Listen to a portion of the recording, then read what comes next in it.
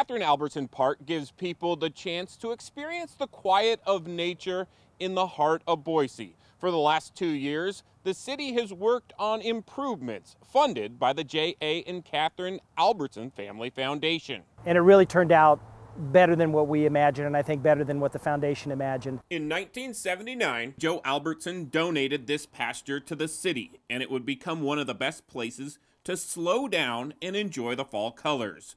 This new boardwalk has opened up a whole new section of the park for the first time ever. Uh, we built some overlooks or some uh, piers inside uh, the pond so that now you can actually walk out into uh, uh, above the pond and observe some of the ecosystems, some of the wildlife that we have in this park. The city also updated signage, created a new bathroom, and took out most of the turf replacing that with natural grasses, which made the park less desirable for the geese that crowd just about every other park in the city. They don't like the meadow grass. That is not um, something that they are uh, accustomed to eating. It's more of the turf that they are more desirable towards.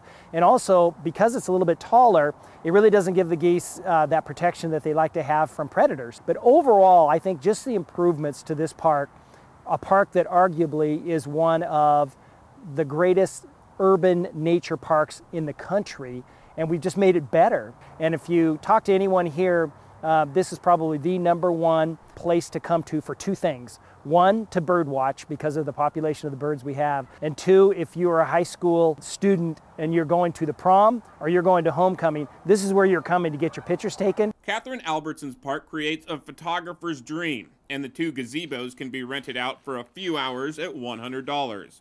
I've seen weddings happen here, and Doug Holloway's daughter had her ceremony a year ago. It was awesome. Uh, actually, it was very awesome, and and we also got to enjoy bringing um, my new son-in-law's family from San Diego to Boise to enjoy this not only just the city of Boise, but this park and this park that we selected to have a wedding for my own daughter here. And they really loved it and enjoyed it and are looking forward to coming back and enjoying this park now that all the improvements have been completed. Biking, swimming, and fishing are all prohibited here in Kathryn Albertson's park, but that's also what makes this park unique. Steve Dent, Idaho News 6.